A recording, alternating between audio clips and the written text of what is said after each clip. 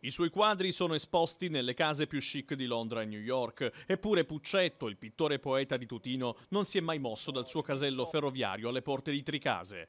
Ogni giorno, per 30 lunghissimi anni, Antonio Rocco Raversa ha abbassato e alzato le sbarre di questo passaggio a livello. Tra un treno e l'altro, Puccetto ha coltivato la sua grande passione, la pittura. Ha dipinto, o come dice lui, ha imbrattato migliaia di tele, alcune delle quali fanno bella mostra nelle abitazioni di VIP come Al Pacino e Meryl Streep. Due mesi fa la doccia fredda, le ferrovie del sud-est decidono di automatizzare il passaggio a livello. Il telecontrollo sostituisce le braccia e Puccetto deve lasciare il suo casello museo.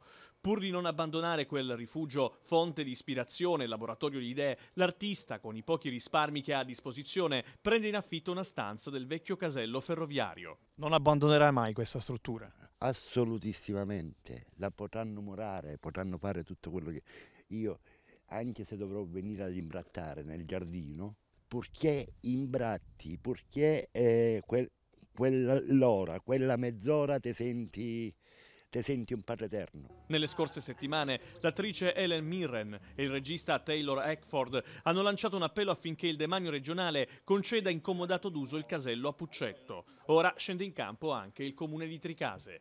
Il binomio Puccetto-Casello insomma non si può dividere